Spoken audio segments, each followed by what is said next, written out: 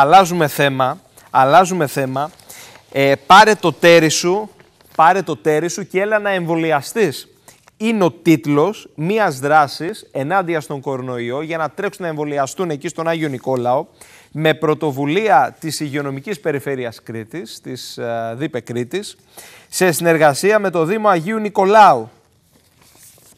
Μάλιστα. Πάρε το τέριος και έλα να εμβολιαστείς και ερωτευόμαστε. Αυτός είναι ο τίτλος. Λοιπόν, ε, πάμε στην ε, κυρία Ευαγγελία Φανουράκη. Ε, Αντιδήμαρχος Δημόσιας Υγείας Δημοσίων Σχέσεων στο Δήμο Αγίου Νικολάου. Χαμογελάει ε, και εμείς χαμογελάμε γιατί μέσα από έξυπνες δράσεις ε, συνήθως πετυχαίνουμε αυτό το οποίο θέλουμε. Την καλησπέρα μας. Καλησπέρα και από μένα. Η αλήθεια είναι ότι η πρωτοβουλία αυτή της 7ης ε, ε, είπε μας ξάφνιασε πολύ ευχάριστα και η ανταπόκριση μέχρι τώρα από το πρωί που επικοινωνήθηκε μέσω του social του Δήμου Αγίου Νικολάου στον πληθυσμό ήταν ε, πάρα πολύ θετική. Ε, μάλιστα αρκετοί μας ζητάνε ήδη να το επαναλάβουμε για την Τζικνοπέμπτη ε, μόνο που αυτή τη φορά αντί για το τέρι τους να τους προσφέρουμε και ένα σουβλάκι. Α, να το.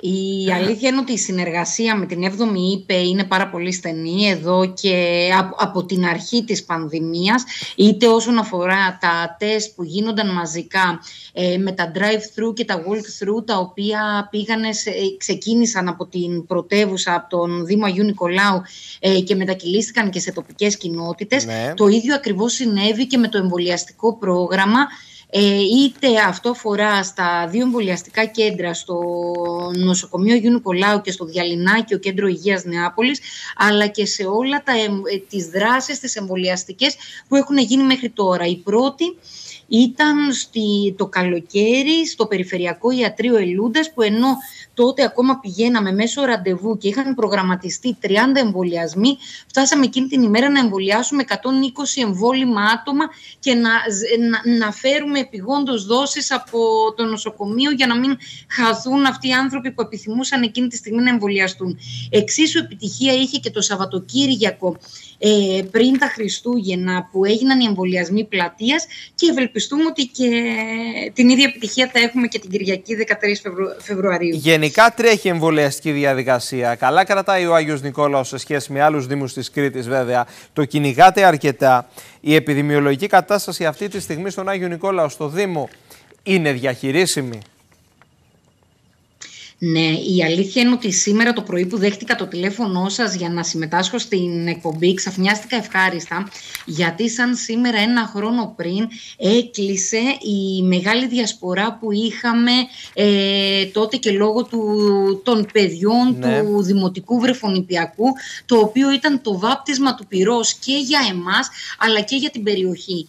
Αυτό λοιπόν το στρες που δημιουργήθηκε πέρυσι τέτοιες μέρες και δεδομένου ότι είμαστε μια περιοχή περιοχή η οποία έχουμε σαν μονοπροϊόν τον τουρισμό, νομίζω ότι όλους μας μας κινητοποίησε αρκετά τόσο σαν Δημοτική Αρχή όσο και σαν πολίτες.